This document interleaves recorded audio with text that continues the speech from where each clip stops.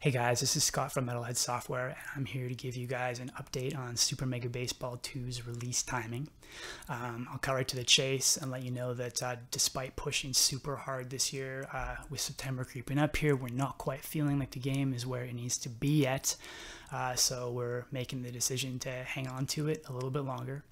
Um, now, uh, a good portion of the game is in pretty good shape here. Uh, it's just a few areas that uh, need a little extra time. Um, one example would be some of the online features. Uh, we're aiming for a pretty ambitious feature set there.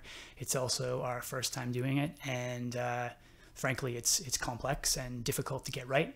Um, now, we could push the date back into the November or December timeframe, but uh, having tried to rally a community around a baseball game in the middle of winter before, uh, that's not a battle we want to fight again this time. Um, so that means we're looking at something a little bit more like springtime or just generally closer to when people are starting to think about baseball again. Uh, the upside on this is that uh, there, there's going to be a little extra time on our hands, particularly some of the team, and uh, there should be some time to get some extra features and a little bit of extra content in there that would not have made the cut otherwise. Um, the other big one is that uh, a beta is something we always wanted to do, but wasn't going to fit into the original timeline.